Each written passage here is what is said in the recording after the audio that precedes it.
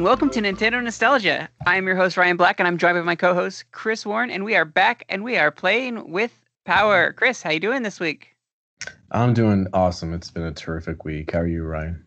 I am pretty good. I'm a bit exhausted running around and I've got my second COVID shot tomorrow. I'm looking forward to it, but also Nice. um, preparing for the sickness that's going to come. So, Yeah. uh, and uh, you know, uh, but it's awesome that we're at episode 238. Uh, we're getting up there. It's pretty crazy that we've made it this far. Uh, we're fast approaching 250, and that's that's blows my mind. Yeah. Uh, we should do awesome. something special for that, actually, now that I think of it. Hmm. I wonder what we would do. Hmm. Don't give our secrets away. All right. Well, without any further ado, let's get into what we are Radical Rexing about.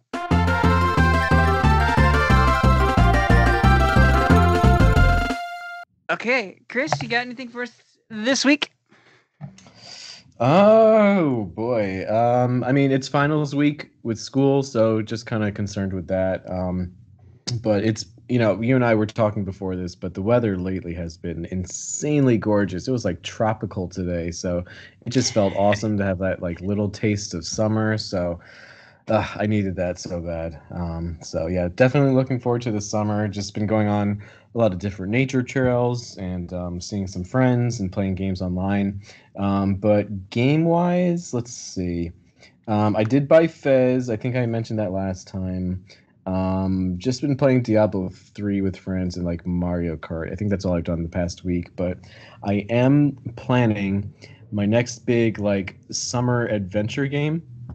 So I might like post a poll on Facebook just to like have people help me out. It's like I just want some type of game that kind of gives me the same kind of like feeling that Pokemon used to and like Banjo Kazooie used to and like Ocarina of Time stuff like that. So I just want like a good adventure game that's like that just totally immerses you and has like puzzles and great music and boss fights and stuff. So I'm I'm going down my lists and like my collection and just trying to figure out what kind of game would be perfect for that. So stay tuned for that, I guess. And um I bought I got this game in the mail, Spinch. Have you heard of Spinch? No. It's I I'm not gonna lie, I don't know what kind of game this is. I literally only bought it because the box art is incredible.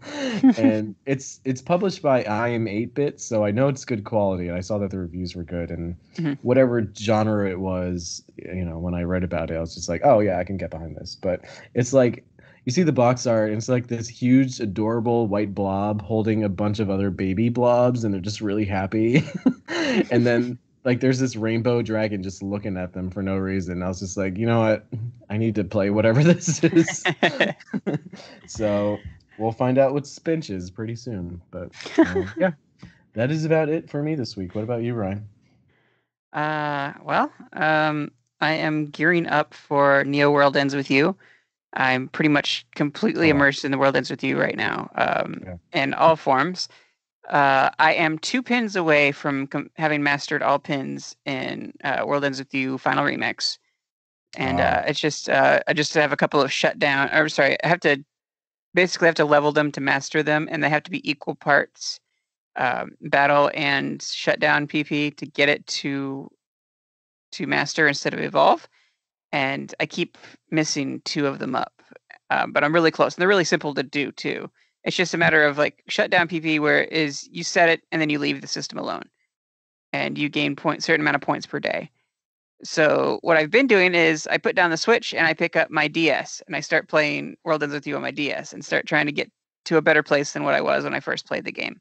I mean, it's it's really cool going back to playing that again and trying to fix my mistakes that I, when I was really dumb and didn't know what I was doing on the game. so, um, you know, so I'm, I'm kind of playing that and trying to get it to the point where I can get myself set up to where I can level really fast and start collecting pins and stuff. So if I ever do want to go back and complete the original DS version, I can, and it would be a little bit more uh, favorable. But just doing some grinding right now to get to that point to where I don't have to worry anymore. Like you know, being able to level up my character really fast with the hollow leg and, and things like that. So okay. it's been fun. Que- question for you. Yeah. Uh, something I've been wondering. So, Um, I played a little bit of The World Ends with You when it came out, and I'm curious how the Switch one plays compared to the DS one because I can't imagine that the Switch version plays better than the DS version. I just feel like it's sacrilegious to not have that second screen and touchscreen controls and with the stylus. You know what I mean? Um, I wouldn't say necessarily better, but they just did it in a different way. Okay. Um, it's it's a different flavor, different play style, um, but it still kind of captures that spirit, especially if you're playing with playing in two player mode with one Joy-Con in each hand. Um, you're still controlling two two characters, though it's not quite the same. Um, mm. And this is it, when they initially made the switch. They went over to uh, phones first and did the the solo remix, and you get kind of an experience for that. And, and they converted that touchscreen model over to the Switch, and it has controls, but I think it's better to play it without the controllers on it. You have to keep a controller handy to wake up. If you put the system asleep, when you put it back on again and start to play the game, you have to have a controller, and it has to connect to that controller. But then after right. that, you can switch to the to the touch screen, no problem. So okay, uh, I, know, yeah, I just feel like fun, just different. For me, I just feel like it's such a DS experience. You know, I just can't.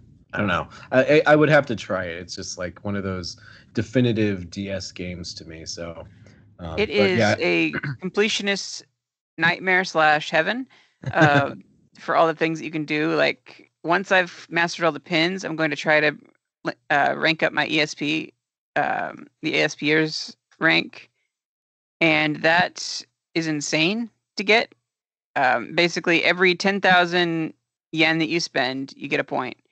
Every battle that you fight, you get a point and I'm sitting at 4,000 points out of 9,999. So oh I've got a bit of a ways to go.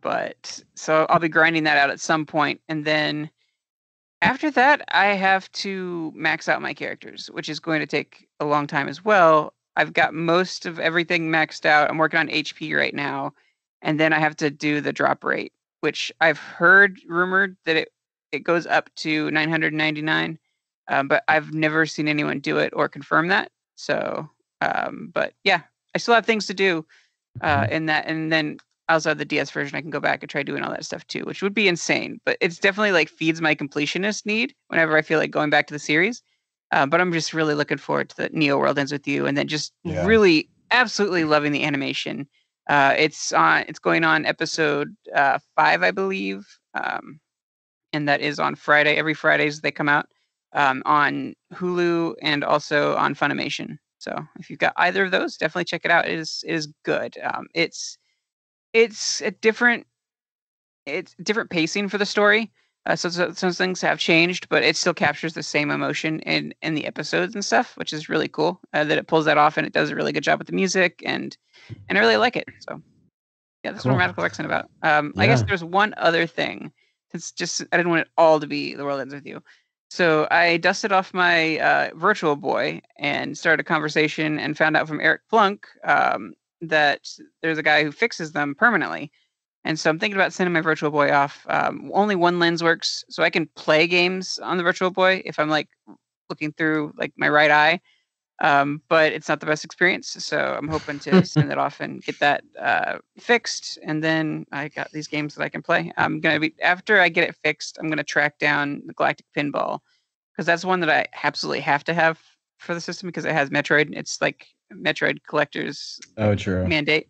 Yeah. Um, and then other than that, like maybe pipe dream saving up for Jack Bros, but that's going to take a while because it's yeah. it's going for over a thousand dollars on eBay right now. Yeah. Well, I know. I uh, yeah. Thanks to Eric for uh, sharing that with me as well. I just I don't know. I'm I don't want to ship out my virtual boy. It's like it's so delicate and precious, you know. So I I don't know. I I, I would be fine with it. It's just like I'd be so annoyed if something happened to it. But um, Do you I, have I, got, the I need adapter? to fix it. Probably. Yes, I do. Yeah.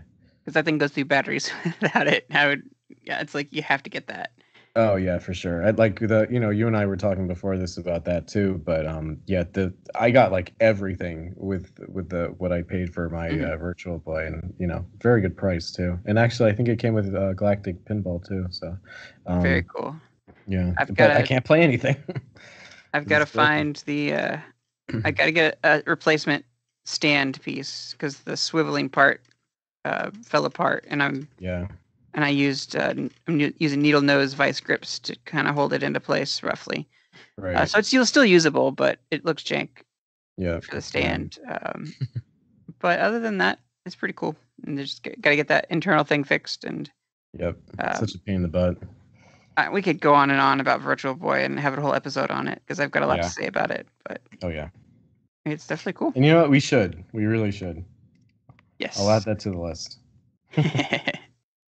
um, I think that about does it for me. And I don't know. What are we talking about this week?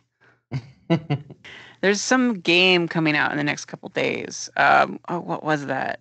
Um, Snap. That's it. Pokemon Snap. Let's Mhm. get into it.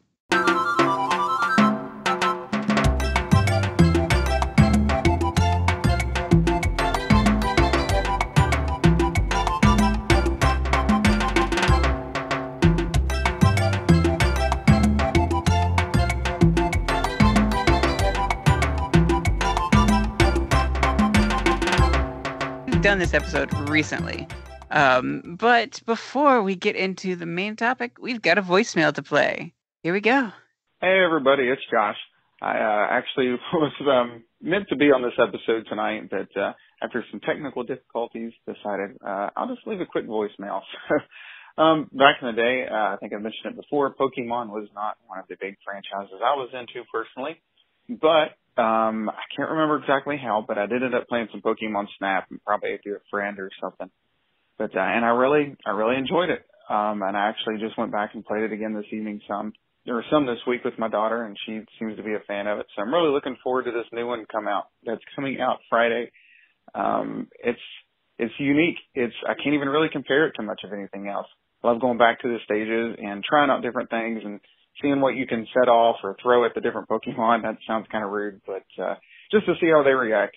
Um, it, it's kind of one of those things you just sort of have to play. It's almost like trying to describe Animal Crossing. Anyhow, you all have a great rest of your week, and I will see you next time.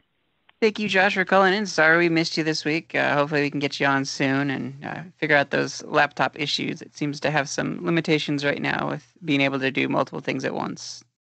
Um, I'm really curious what Josh's experience with Pokemon Snap was kind of like, considering that he wasn't that big of a Pokemon fan. I just can't imagine how that would translate into enjoyment if, like, you don't have that background experience and fandom with the the series. Because, like, when Pokemon Snap came out, that was like peak Pokemon Pokemon craziness and mania for all of us, at least for me. So um, I, I was losing my mind just as a fan over the type of experience that Pokemon Snap gave us. But um, maybe he was like pretty familiar with it and just like wasn't the biggest fan. So maybe that helped. But um, yeah, I'm glad that his uh, daughter's enjoying it because it really is a great game. I'm going to say it again. I say it every time, but Pokemon Snap is a first person shooter. So uh, that that's something that, like, that's the only way that they could do that in a Pokemon game. I mean, in a way, in a way, like um, it's inter- yeah, that's fine. I'll I'll allow it. I just wish that you know, I, I when I asked for more first person shooters on the Switch, I didn't mean this. Not to say I'm complaining, but but yeah, it's it would be really cool to get this on the N64 Classic or N64 online or whatever they're gonna do with that. So Right. Because it, I mean, it sucks that it's like lost in time at the moment. It's great that we're getting this new one, but you know, people should really experience the original. It, it holds up very, very well. I'm sure we'll talk about that in just a little bit, but like, you know, I was playing it for this episode and it, it feels totally fine. Like, I think even a person who's not overly familiar with games would be okay with understanding how it controls and what to do and all that stuff. So, um, yeah, it's a great game. And like you said, I hope it gets re released. I believe we had a Facebook comment. Um, we, we had posted on our Facebook to gather some uh, some nostalgic memories from people and uh, get some shout outs. So, uh, Chris, you want to go ahead and read those? Okay, yeah, sure. So, um, with our Facebook a post. Um, we did post it a little bit late, so we just got one comment that that week. Uh, I'm sorry, this week. So um, Andrew Swan said the game was so fun, but it wasn't great. It needed more to it. This new one looks to have fixed everything I had. Uh, I had, and I, I guess he meant uh, everything that he had an issue with with the original one. Uh, the updated graphics will be a big plus too, and I, I can get behind that. I can understand that, but um, for me at least, like I didn't really need Pokemon Snap to be this masterpiece um, when it came out, or like even today. It doesn't need to be like this game of the year, Ocarina of Time type of game. It just needs to be like a fun, unique, immersive experience within the Pokemon world. And I think Pokemon Snap really delivered on that. Um, it had a lot more depth and complexity than what I was expecting back then. Um, but you know, like Andrew said, it could have had a little bit more. It's a very short game, but um, I don't know. I love it, and um, I'm glad that Andrew also like, even though he's aware that it's not a perfect game, like he said, it is very fun, and um, he's looking forward to the new one. So that's great. Um, yeah, what do you think about Andrew's comment, Ryan? Um, I can see that. Uh, the length of the game was a bit disappointing, but that wasn't the point. Um, the point was the more you dug into it, the more Easter eggs you would find, and the more little things that you could do, interact with the Pokemon, and get better shots. And it rewarded you for trying different things and kind of experimenting, and just trying to be a photographer. You know, to get like certain animals, if you will, to do certain things and to get great pictures, and you get graded on that. And so it was really cool, uh, cool element. But yeah, it was sh- short. Um, you can run through a playthrough really, really fast, but to really master it and to learn all the little secrets and stuff, it takes a lot. Yeah, that I, I, will say it's one of the best like games that has replayability because you cannot play it in just one round. You have to mm-hmm. play it over and over again to discover all these different secrets because you're you're just walking around and exploring this environment and all these things that are you know seemingly quote unquote natural within that world are happening all at once. So you kind of have to explore around you in like 360 degrees and you just can't do that on one run. So um, i really appreciate that they did you know think about that and think that um, g- give you enough control so that you can explore all the way around you and that there is a world happening all the way around you and, and all these different angles. So um, yeah it's i just i love the idea of pokemon snap. It's genius. Definitely genius. Um, it had humble beginnings um, hal laboratory was working on it um, and initially it it was said to be a jack and the beanstalk game um, and it ultimately like it was supposed to be like a 64 DD thing, and it ultimately blossomed into what Pokemon Snap is today. So it is speculated that some elements have been were sent slated to go into um, the Earthbound 64 game that was canceled. Oh, um, oh wow! It was supposed to have like planting elements, like planting like seeds and things like that. So um, it's kind of cool that it, it had this early development seated in something so just like kind of fairy tale-ish um, and how mm. it became something completely different. It's it's interesting right. how like they used like the the engine they were working on for that and it blossomed into two games. One did see the light of day. Um, they still planned on doing the 64 dd but they dropped it ultimately when they decided they weren't going to be doing that.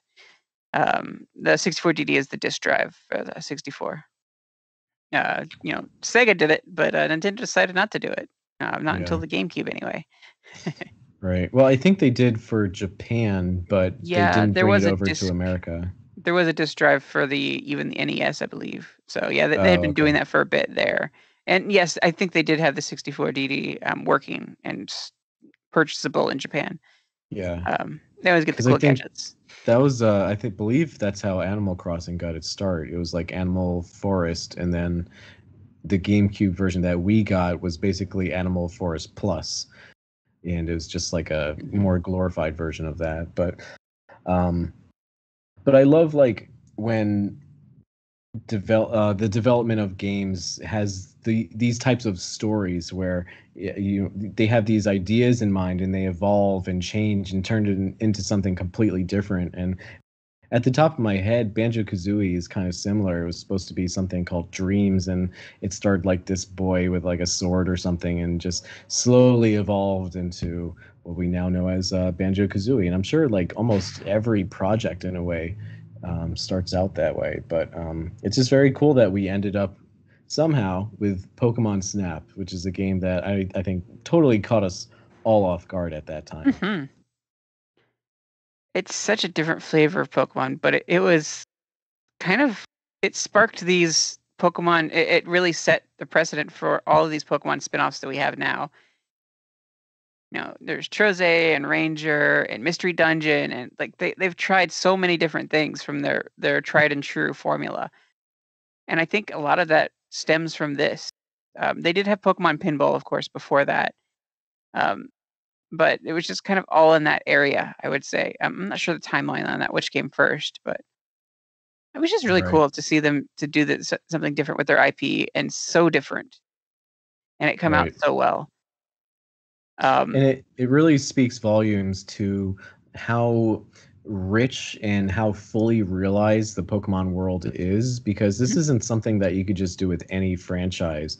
You know, you couldn't do this with like I don't know Wii Fit or I don't know. I don't have the best examples at the top of my head, but like the Pokemon world is so you know eh, they have all these things figured out especially because they have the show and the games you know with an rpg there's so many details that you have to figure out with an rpg and that's why the games were as beloved and still are uh, so beloved because it was just this this world that just totally engrossed you and you just totally escaped from your your life and it felt like you were in this world. Like even though it was a game boy game it still was so immersive. And the fact that it was able to translate into a 3d game like this involving photography which had nothing to do with the game boy games. Is just really a testament to just how brilliant uh, the, the concept art and and the concept of that world in general really is.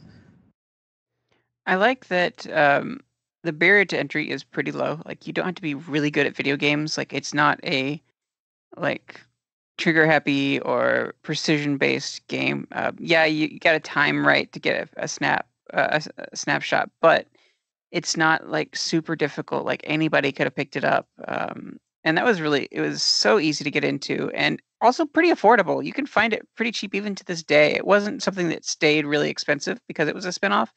Um, so it was a lot more accessible to a lot of people. And I think that's where a lot of the nostalgia was generated was because it was so easy to get a hold of and easy to play. And it was just it, it fit to a lot of other people who weren't normally gamers. They would just kind of get it. It would click for them. Um, yeah, and it, it, was really cool. Um, and it, yeah, it, it just takes that simple concept of taking a picture with a camera. This is something that you know even at a very young age you just understand how to do that so um, yeah you just look around and there's a little dot and you focus on something and you take a picture and you know they do add some other modes, which I think were really really clever actually, um, like throwing an apple or the pester ball, um, a flute. I haven't gotten that far yet um, because I at least uh, was only able to rent this game uh, when I was a kid. I now own it, thankfully, but um, yeah, I, I, just rented this game over and over and over again. Um, did you own this game, Ryan? I did. Um, in fact, I own it right now. Believe it or not. Awesome. Um, it was one of the few games that I don't even know when I acquired it. Really, I think I had it before I had the 64 even. Um, but yeah, that was like one of the few games that I had, and I love it. I absolutely love it. It's still sitting in my system right now. Yeah. Um, I, I it, don't play it as much as I should, but I, I still have that, and I, I also purchased it second it came out on the Wii. I picked that one up, and I mm. I'm not sure if I upgraded to get the Wii U version, but I did. Um, it looks yeah, really they, good too. Actually, like they kind of cleaned it up a good amount on the Wii U. I was very surprised by that. Mm-hmm. Uh, the game did release on March 21st in Japan um, in 1999. Uh, looks like North America got it just a little bit later, uh, July 26th of the same year. And of course, you know, the oh wow, it looks like UK or PAL regions got it in September 15th of 2000. That's quite the jump. Oh, Like over a year later. Wow. that must have been torture. The promotion was insane for this game though. yes, To I be remember able to- that very well. Take your cartridge, you know, to any blockbuster um throughout the summer of 99 and just put it in their kiosk and it'll print pictures for you. That was so cool. Yeah, it's amazing. Like, especially as a kid, oh my god, we lost our minds. it's uh, like such a simple but novel idea. I do remember it being kind of expensive though. I think it was like five dollars for like a little little Mhm. thing of stickers. I don't know, Mhm. but hey, it's worth it. And it, it is so, so cool. If I had known about that at the time, I totally would have taken advantage of that. Um, I know. I think it was Amiibo Jason. Um, they uh, they have one, and they restored that cabinet. They got the full thing. It was kind of like their Grail, pretty much. Uh, they restored it, and they're kind of upgrading it, and they they were made it so that they could actually use like the Switch, play the Switch on it, so they could actually play their Switch you know Pokemon Snap game on that console is I think what they're going for, and that is just so cool.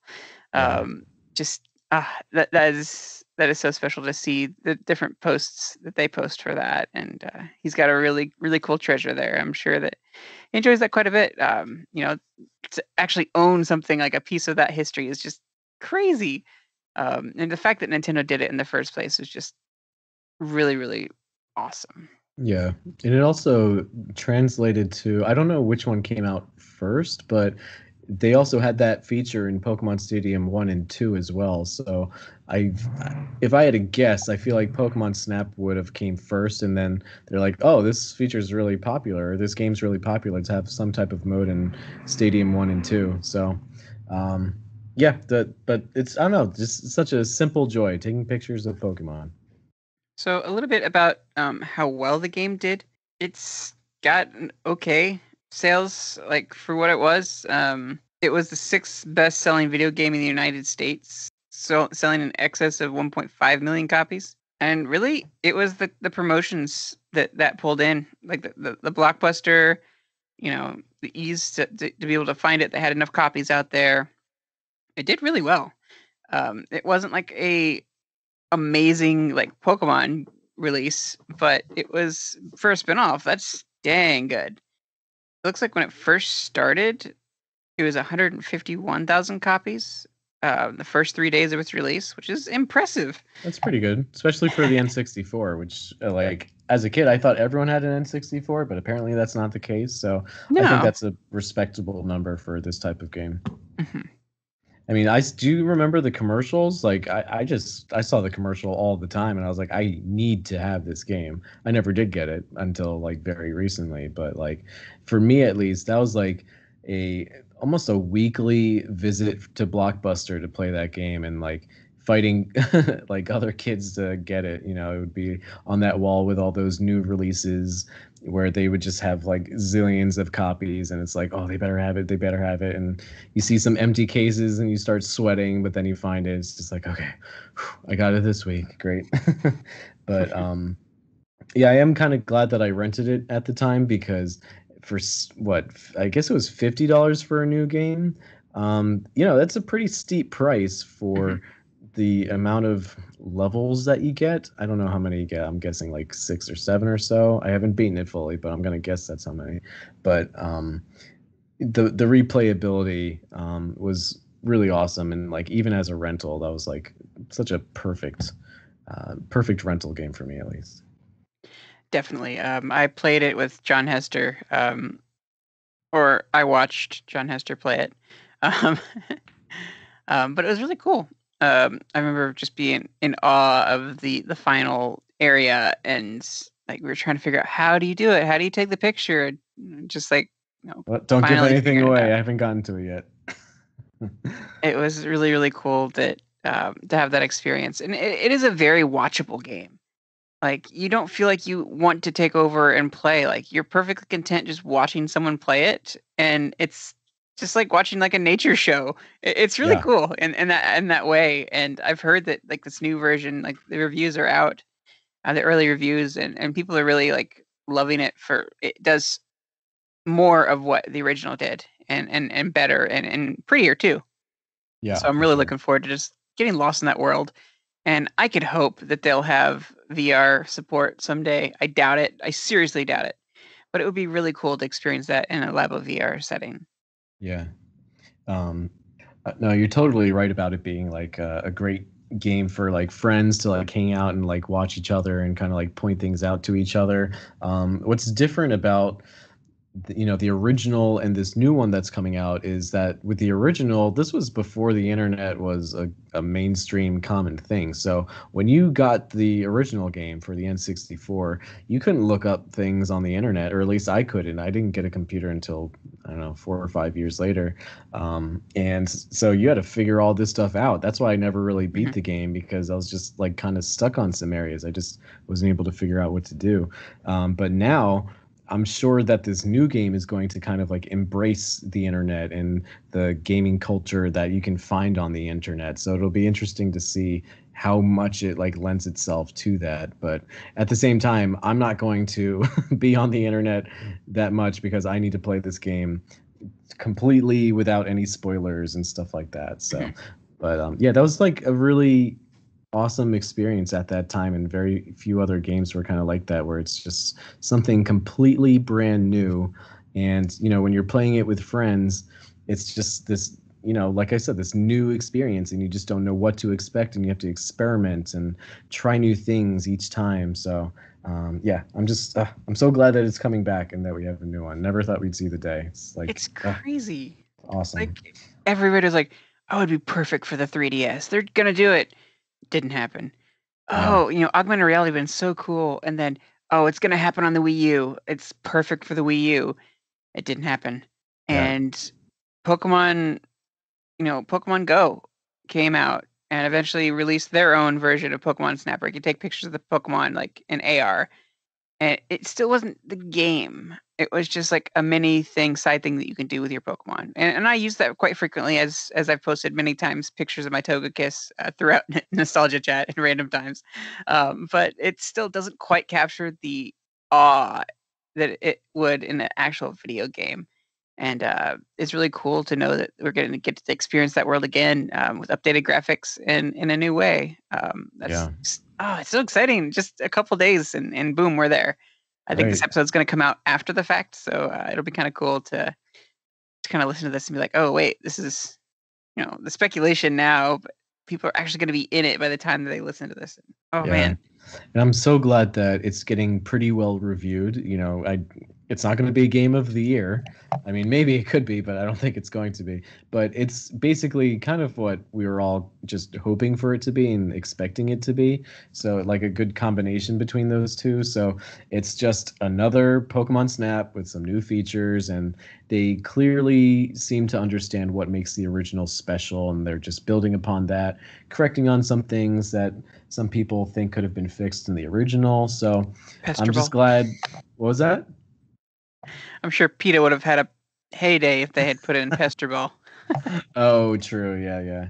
So it'll be interesting to see like what changed and what's um what's different in this new one. But um, it's it's such a interesting video game because it's like it's both exciting and relaxing and rewarding and it's just all these great adjectives and it's such a simple concept like you said like you can move easily and control everything easily. And it's like it, it, you're just in this world that they created and they created this scene and this environment and you feel like you're a part of it because you can manipulate it. You know it's not just you looking at things it's you looking and exploring and experimenting and interacting with that world and you can change the path too which like as a kid that to me was mind-blowing when Mhm. the electrode explodes and the rocks fall down and then there's this new path that opens up and you see Todd's face like what? And I'm like what it's just it's such a great it's it's this very wondrous game. You know, it's like Mm-hmm. perfect for when you're a kid, and it, it would be great to go back as and as an adult just to get those nos- nostalgic feelings again. So, uh, came at the perfect time, right? Definitely, and it was really cool that it was it was like a movie. Um, yeah, it's an on rails um, first person experience, but you could speed up and go through levels faster. You could you could move faster along the track, or you could stop at certain points and take pictures, or at least slow down. Um, so you could kind of kind of have like a time element where you could take go at your own pace. If you're running through a level, you can run through a little faster. Um, and th- these are upgrades that you had to get, I believe, through through playing. Um, Yeah. but there was like a bunch of stuff that you could do with that that makes the experience pretty enjoyable. And I don't think that's too much of a spoiler to throw out there, just to say like, hey, you can actually, you know, kind of manipulate the pace for getting the pictures that you need. Um, Yeah. But uh, even then, like, it's really hard to get that moment. Once once the moment's gone, you're not going to get that Pokemon picture. Right. Um, and I think by far the hardest thing in the whole game is that that Magikarp picture. Um, oh yes. it's so rewarding when you can finally get it. Um, but there's some other stuff, but that one's like one that's most involved. Like you got to get it just right, and uh, Right. And like when the Zubat comes at you when the door opens, it's just like, oh god, I did not see that coming. There's a lot of examples like that. A lot of different um Pokemon. Like uh you, you see this like floating purple orb and it turns out to be I think it's like a haunter. You know, you don't know what that is. It's just like a ball, but then when you bring it back to Professor Oak, he's like, "Oh, you found a ghost or whatever." Hmm. And um oh, there's just so many little details that are just like coming back to me now and it's just like cool to see this all these little mini stories unfold as you're exploring the area. You know, there's a, a, a Koffing that's chasing a Jigglypuff, and you can just let that happen if you want, let it continue to happen, or you can put an end to it by like throwing something at the Koffing, and then that could end up rewarding you a little bit later. So, um, it's kind of like a choose your own adventure kind of book, but in video game form in a way. Charizard's probably my favorite. Yes. That Getting that Charizard shot was so cool. Yeah, it was so Um, like majestic. He he comes out of the lava like this beautiful dragon.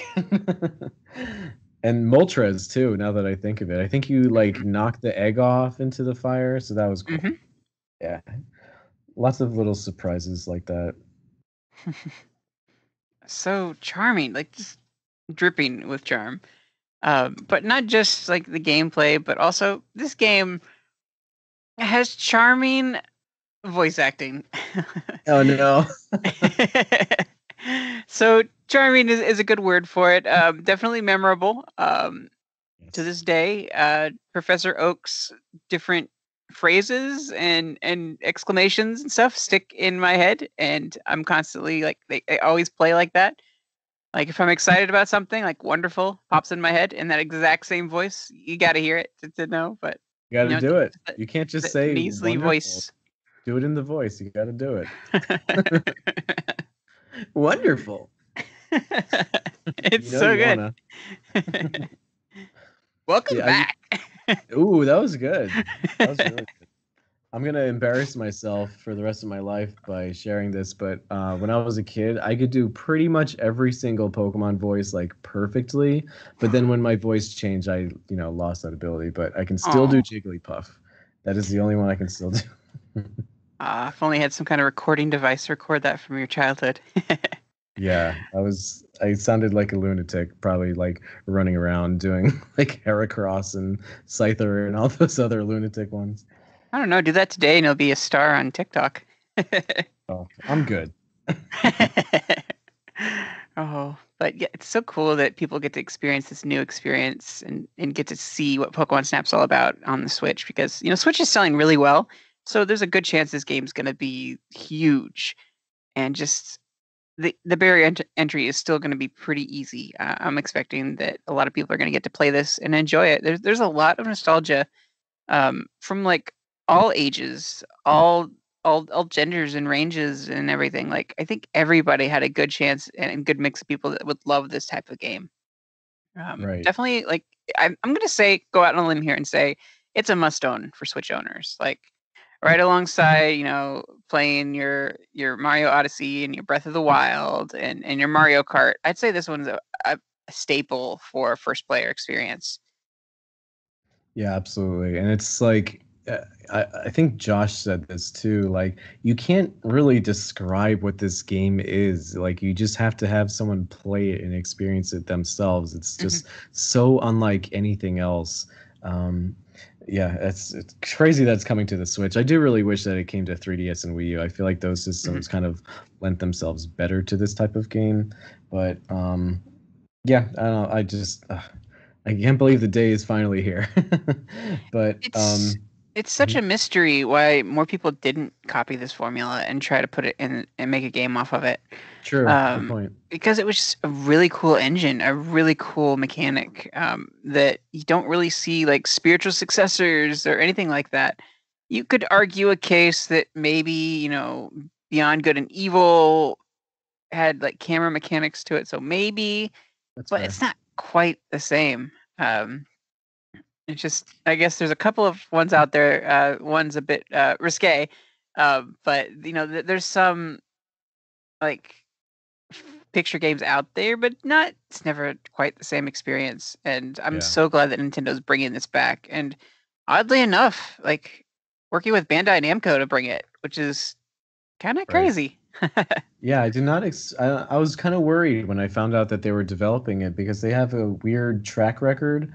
Um, th- I mean, they've helped with Super Smash Brothers, so I was like, okay, relax, Chris. They they've done Smash Brothers Ultimate, and that's like amazing. But you know, they've done Star Fox Assault and Donkey Konga stuff like that, and they're not bad games, but they're not amazing. But um, I am glad that whoever is behind it, they seem to get it, and they seem to have done a great job. So thank you, Namco, for really putting the work in for this one, at least. So we had a, a healthy amount of Pokemon in the original, um, and you know, original 151. Um, I don't believe they did anything outside of that, which was fine. Um, and that kind of sparked like dreams for. I would love to see Pokemon Snap in Gen 2. Like I'd love to see the new Pokemon and Pokemon Snap be an even bigger experience. The more Pokemon to take pictures of, and then you know, Gen 3 came, and Gen 4 came, Gen 5 came Right. And like got further and further away from the possibility of that as like more and more pokemon were added and it's crazy to think that they've actually given us an experience that has hundreds of pokemon in it that you can take pictures of and that's just so cool. Um they're finally giving this to us and it's it's been so requested over the years like Yeah. I think it it rivals, I would say, as far as expect expectations of it coming and, and coming like out, would it would probably rival the Mother series, like Mother Three, in in that aspect. It'd be one of those on the tier, like maybe even if it's third place on the list, like that was something that people expected to happen. Just like Super Mario RPG was going to happen. They're gonna have a sequel or re- remake or something, you know. Everybody like everyone would put that up there with with Pokemon Snap, and uh, it's it definitely is recognized as a beloved series and something that should be made. And Nintendo's capitalizing on that, and I hope they do more stuff like this. The things that we didn't get to play, or would love to play again in a new way. Uh, F Zero, um, you know, there's uh, Ice Climbers, which. Uh, you know, I bring it up every time. So anyway, right. No, You know- no, that's a really good point. You're right. It has been requested over the years, and it is odd that we're now finally getting it. And I just wonder if it's because there's been such a demand for it. You know, like what really did it for them? What made them choose to do this now? Um, because, yeah, like you said, we, it would have been great to do it with Gen 2 and Gen 3, but at the same time, now we have it and now is our opportunity to let them know that this is what we want and we want more of this so Mhm. hopefully and I, I believe this will happen hopefully this will translate into good sales and this could become a series moving forward um, as long as you know the quality is still there i, I would uh, hope but um, Yeah. yeah now is our chance to really let our voices be heard and really put our money where our mouths are um, going back a little bit to the the blockbuster thing with the taking pictures um, or getting your pictures printed. Um, the Wii did have the ability to the pictures that you took in game you could post on the Wii's message board um, and kind of share those that way. Um, but then um, I don't really think they did anything like that for the Wii U version. Um, but for this version, uh, this one coming out for Switch uh, with the new game, they have the ability now um, that it connects via smartphone app uh, to the Instax printer, and I I believe it's Fujifilm. I want to say. I think Um, so. But yeah, you can take you know you can take your pictures in the game, and then send them via I believe QR code to the the phone app, and just print directly to the printer, um, and to give you that experience from back in the day, and that is just really charming. Um, Yeah. They have like a a Pikachu themed cover or case or or something like that uh, for the printer, yeah. and it's just so cool.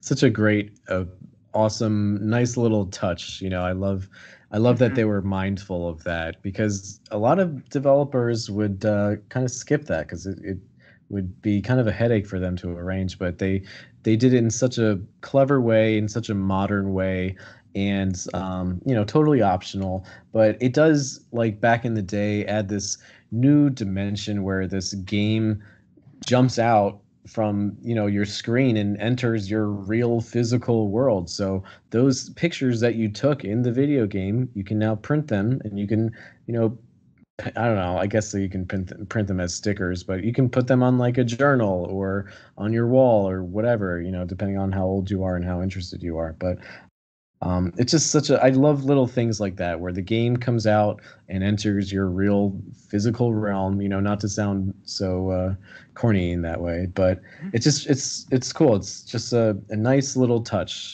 you know? It's it's, it's kind of like having a, a physical version of a game where that it comes with like a booklet and like little goodies and stuff. It's just that Mhm. that extra little touch. So i'm really happy that they did that or that they're Ah. doing it right now yeah Oh, interesting. I think it would be a great idea to take this game um, and package it in a different way um, in the future uh, to give it kind of a what's the word like Call of Duty style. Um, even with DLC, like a, a a yearly DLC or something where you could explore new regions, take pictures of new Pokemon in certain areas and things like that. Like with DLC nowadays, like with Pokemon Snap, there's a potential to really grow that that world and and add on more to the game and give fans more of this. Um, it would be really cool to do, to see them do that because you don't need to make like crazy new game mechanics for Pokemon Snap. Uh, just more content, more to explore, more to see, like just to get immersed in that world. right Um, it's a great opportunity. Yeah. And I and I actually like sometimes forget that DLC is a thing these days. That is something that developers can do and something I would happily pay for if it was done correctly.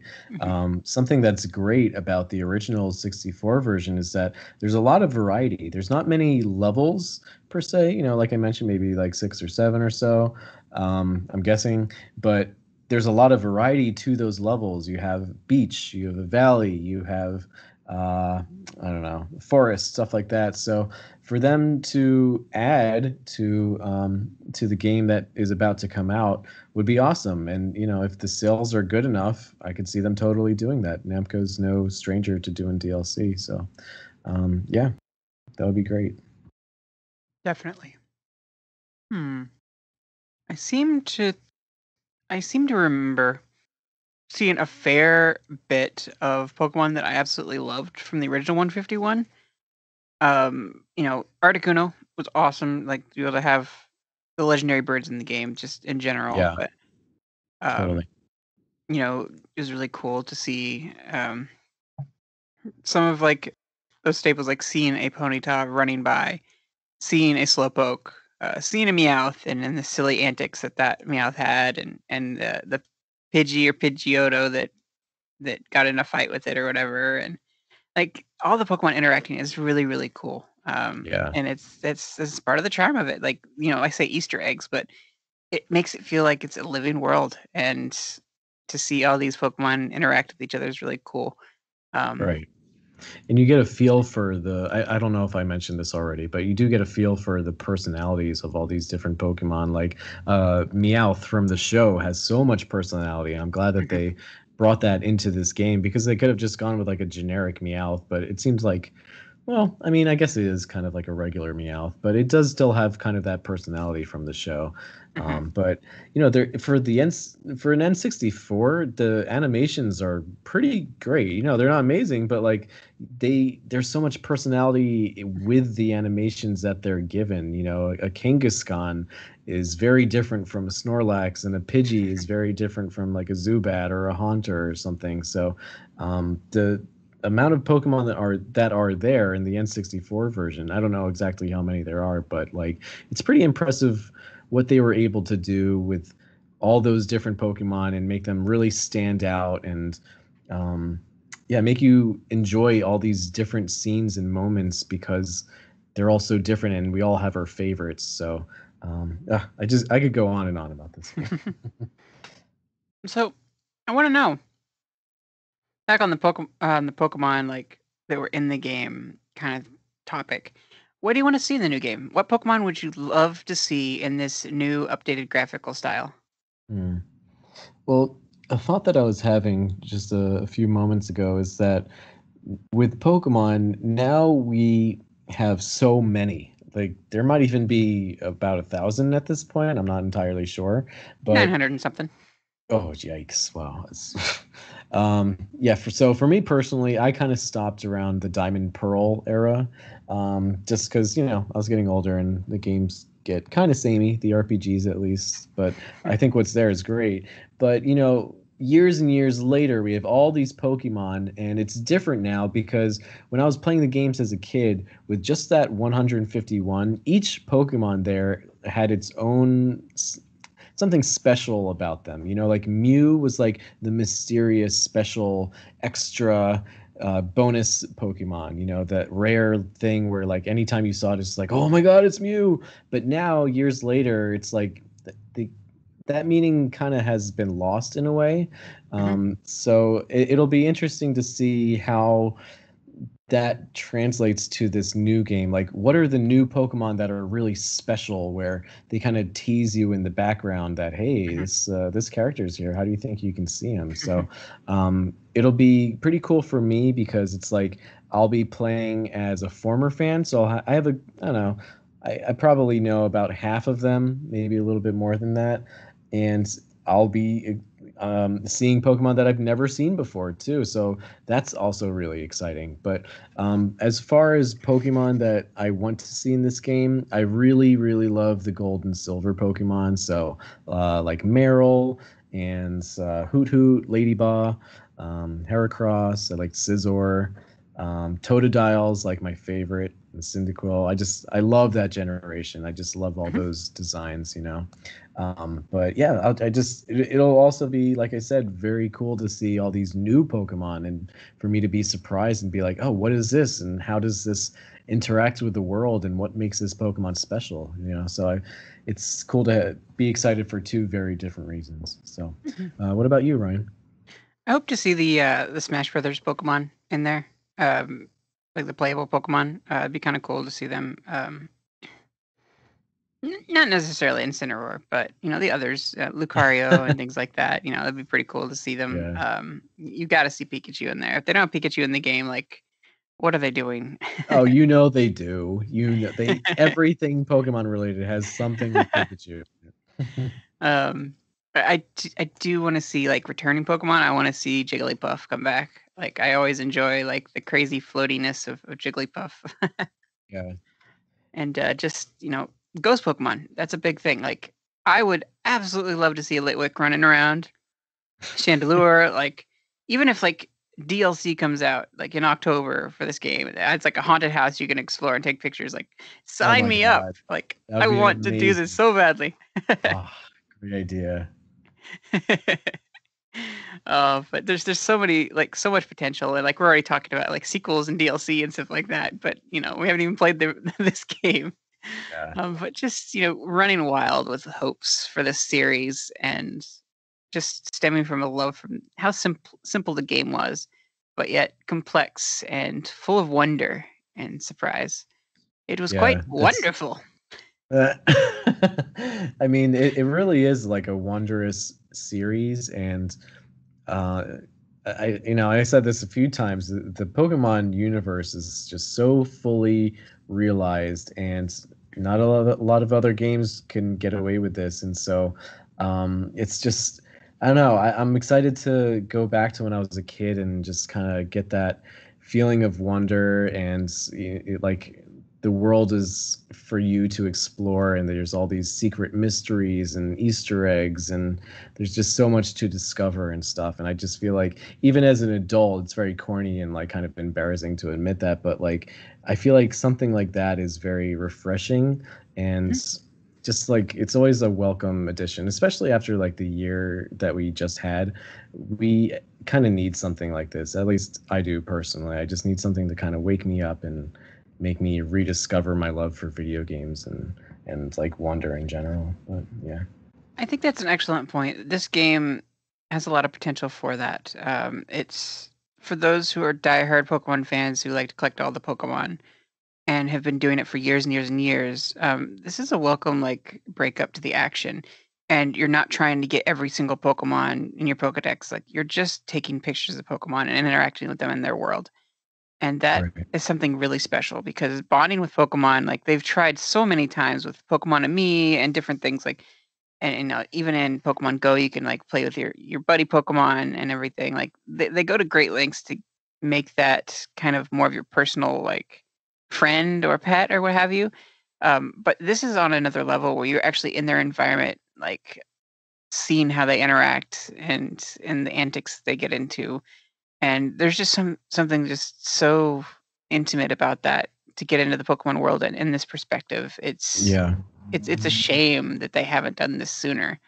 Uh, since yeah. the original because they were on something like gold with that that they struck gold with that and they just never really brought it back again and yeah. i hope that this is the right time finally like the, all those times that they skipped and didn't do it i hope that finding you know bandai namco to help out you know they were the ones that made like they needed graphics behind this game. Everybody said they wanted the updated graphics for Pokemon Snap. And so like this game, if you've played Pokkén Tournament, you know how beautiful ga- that game is. And so like taking that engine and putting it into this into this like picture taking uh on rails romp through the Pokemon world, like sign me up. Like yeah. I I don't care if this game is super short like the first one was, maybe even shorter as long as it has that replay value and it's just it gives you that immersion like the original did like i'm satisfied. Yeah absolutely.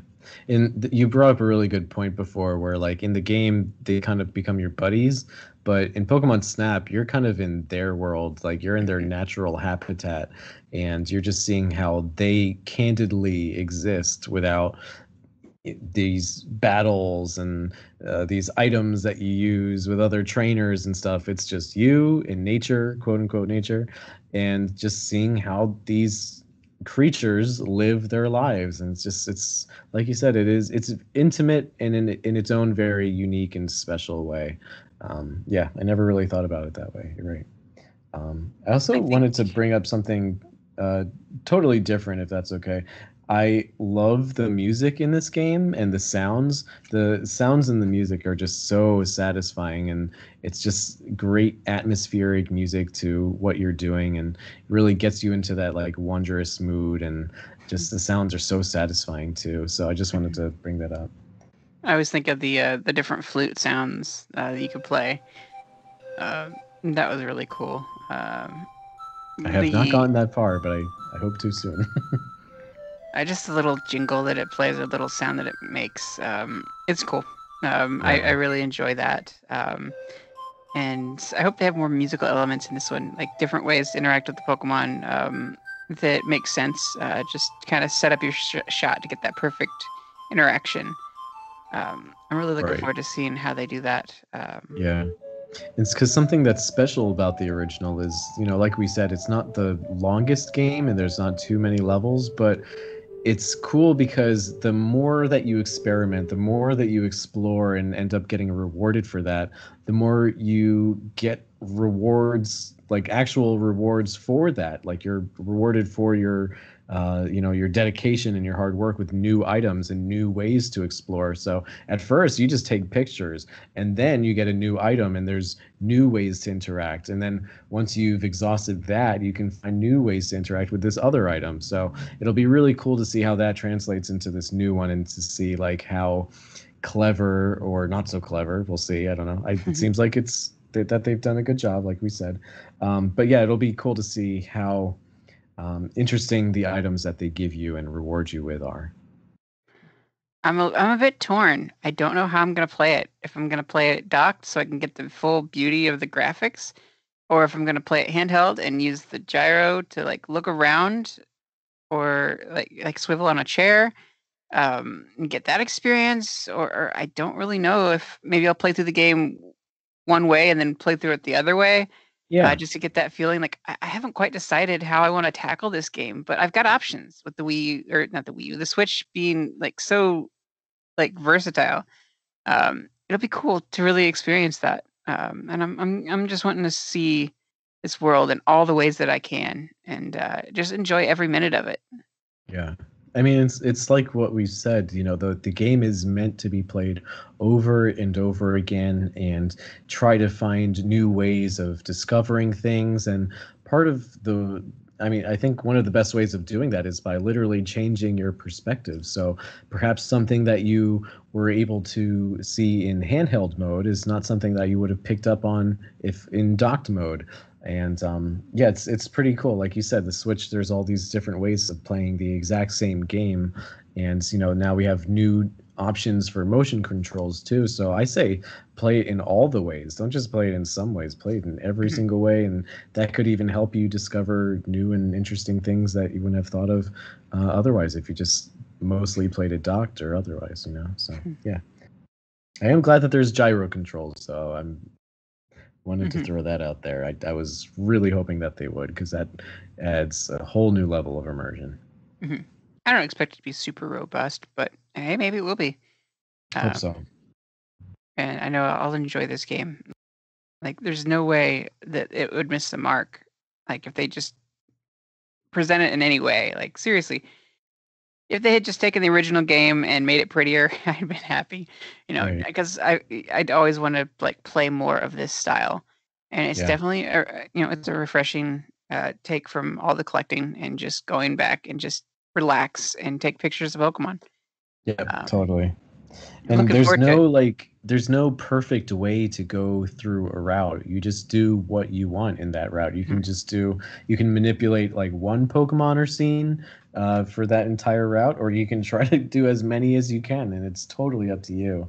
Um, I do hope that they have like different objectives and like goals for you to set out to do because um, mm-hmm you know the original didn't have too too many which was okay i still liked it um, but yeah i just i hope they mix it up and make it even more rewarding and stuff. And one of my favorite things about the original is how and i, I also mentioned this how you can change the path. So that'll be really really fun and exciting to discover uh, mm-hmm. ways to do that like with the Porygon, I'll never forget with the Porygon where you, like you see these, I, th- I think it's like a brown cube and against the wall, and it's just like what is that thing moving? And then you throw a ball, and then a Porygon jumps out, and then I guess he slams on a button, and that opens the gate, and then again Todd is just like whoa, what just happened? So yeah, I want to see a lot of that. mm-hmm. Definitely. Uh, and I'm I'm so glad that in the new game we're going to be taken underwater because that was something that was really like really lacking in most games is you didn't get to go underwater explore pokemon under the sea and so we get to finally see that world um, in in a 3d environment and explore underwater and that was that was really cool that they did decide to include that in the game I didn't even know that. I I actually have been purposely not watching footage of it just to keep as mm-hmm. much of it as a surprise as possible. But um, it's probably going to be the only time that we want to be underwater in a video game because we're not going to be needing to control ourselves since it will be on rails, or at least I imagine it will be. Um, yeah. I think I saw it like one of the early trailers. It showed like this underwater thing. I'm like, I want to be there. I, I want to do this. Like, I, I love it. And yeah, Nintendo or Pokemon or whatever did the new Pokemon Snap, you know, the new name, uh, as as Nintendo d- tends to do. But even then, I can't fault it for that. And uh, who is looking forward to this game? This guy. yeah, I can't believe it's already here. I actually, this is a game that I wasn't really planning on getting. Uh, it's one of those kinds of games. Like with first party games, I tend to wait a little bit, try to get some kind of discount. But I actually have a good amount of GameStop coupons where I could probably get like 20 bucks off. So I think I'm going to do that because it's probably not going to go down in price for a while. And I no. don't want too, too many things like spoiled for me. So I feel like now's like the perfect time, especially now that everyone's playing it. You know, mm-hmm. um, I don't really care about like FOMO and you know trying to do what everyone else is doing but i think this is a game i'll make an exception for in that way. Mm-hmm. and this is one like you want to kind of stay away from social media and just play and discover on your own. Totally yep. You don't it's want to be really for you yeah it's going to be really hard to escape from spoilers. I'm kind of worried about that. Yeah it's going to be interesting to see what they do with that. Even like p- posting a picture of a pokemon like that's kind of spoilery too you know but I look forward to all of it, and yeah, the day I, has. I trust they're going to pull off a really good good game here. Yeah, uh, I'm really thankful for the reviews, and I can't believe that it's already here. Like, luckily, time has flown by, and I haven't really yeah. been, you know, on the edge of my seat thinking about this game too much because I've been so busy. So, it's nice to have my finals be done soon, and nice. I'll have something like this to play and relax with in just a little bit. So um, yeah, I think I'm gonna pre-order it. Excellent. All right. Well, I think that brings us to the end of the episode. Chris, do you want to do our due diligence? Sure. Um, so we love hearing from our fans. So if you want to, wanted to leave us a voicemail, you can call us at 317 969 5690. Or if you want, you can also send us an email. That's totally fine. So our email address is Nintendo Nostalgia in at gmail.com. And you can also find us on Instagram and Twitter and Facebook. So on Instagram, our handle is at Nintendo N O S I N. And on Twitter, you can find us at uh, at Nintendo underscore NOS. And our Facebook chat group is called Nintendo Nostalgia Chat, believe. Not even entirely sure. Um, but yeah, we love hearing from our fans, so feel free to reach out to us whenever. You can post stuff on our wall. And also, if you enjoyed this episode, we really appreciate it if you left us a review. All right, that brings us to the end of the episode. Thank you so much for listening this week. We hope you all enjoy the new Pokemon Snap, yeah. and we will catch you next week for an action packed episode. Later, Preston. Bye, everyone.